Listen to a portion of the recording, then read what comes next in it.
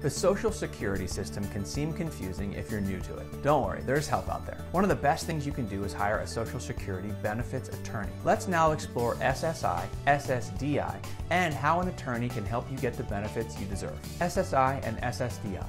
There's a slight difference between Social Security Disability, SSDI benefits, and Supplemental Security Income, SSI benefits.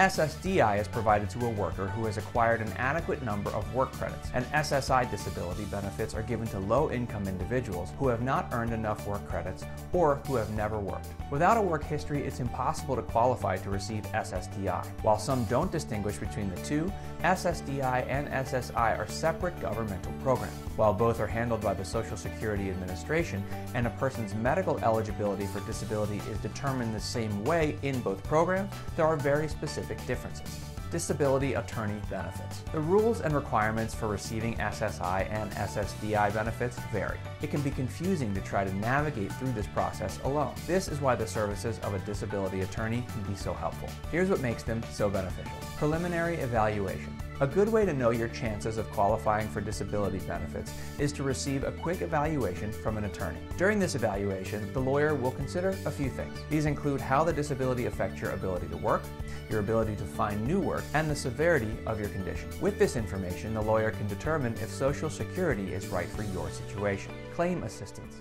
The SSA application requires you to submit detailed information about your medical history and your income. Sometimes these applications are complex, making them difficult to file. It's important to make sure all the information included in the application is accurate. This will give you the highest chance of qualifying for benefits. While you can complete the claim on your own, hiring a disability attorney to help you will reduce the likelihood of mistakes. Timely updates. The SSA needs regular updates about your medical condition during and after you apply for benefits. Trying to handle this paperwork is often confusing.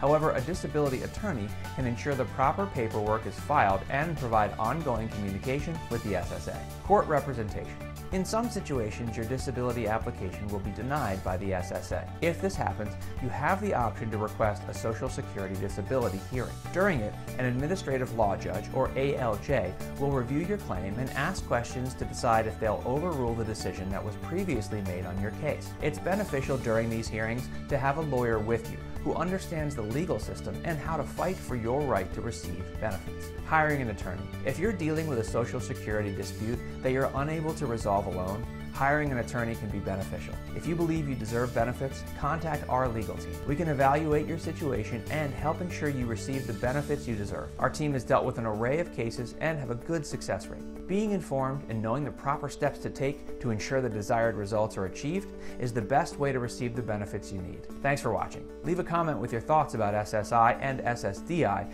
and make sure to like and subscribe before you go.